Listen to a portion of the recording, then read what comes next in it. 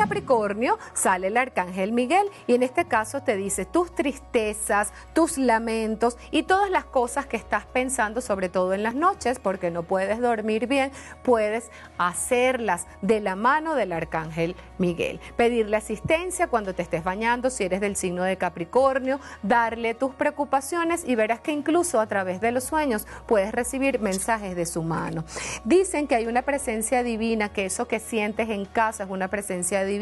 y que debes ponerle una velita, porque solamente allí, en esa conexión con la que vayas a hacer con los ángeles, vas a tener el golpe de suerte. Si debes algún dinero, si estás esperando que te paguen algo, es el momento de comenzar a encenderle velitas a esa guía divina que está en tu casa y dejarle las preocupaciones directamente a los ángeles para que se encarguen. Pídele a los ángeles de luz que te lleven al lugar, a las personas y al momento correcto para que llegue el dinero que estás esperando si eres del signo de Capricornio.